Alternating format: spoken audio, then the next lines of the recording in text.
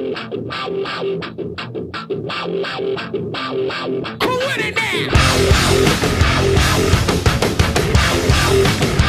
I got the knee down here to continue from here. The guy tries to push on me to keep me away. I'm gonna swim my hand through to grab his lapel. Right here, grab his, his collar right here. When I do that, I keep my knee tight to not let his uh, arm out. I extend my leg out, this is my driving leg in case the guy is much bigger than me. I want to drive my weight towards him. I don't want to have both knees on the ground and get rolled.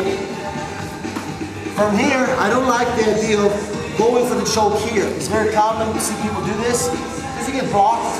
You can, if it's very strong, you might start to do things to you here that can make you lose your balance. So what I do is I keep my weight down, keep my arm over his face.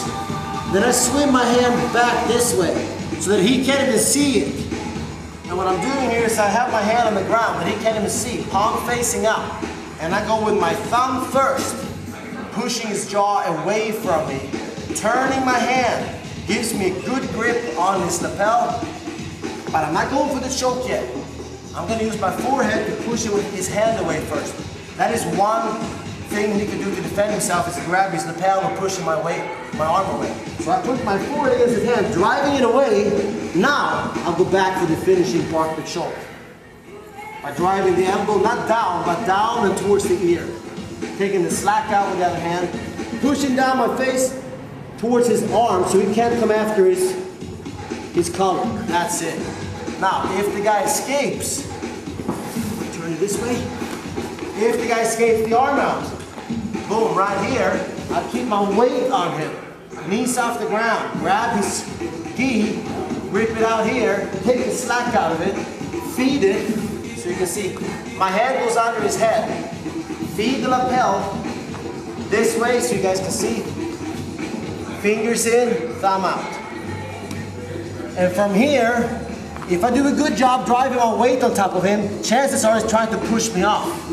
That makes it very easy for my hand to go under his forearms this way, palm up, looking for the gi here on this side, the lapel.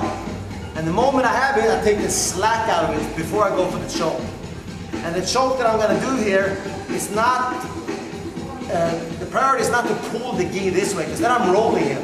What I'm gonna do is I'm gonna bring my elbow down into his throat and lift my hand up into his neck. With my weight top of him, right here, that's a tap. So this hand goes up into the neck. I just hold on here with no slack, and then I drive my elbow into his neck. That combination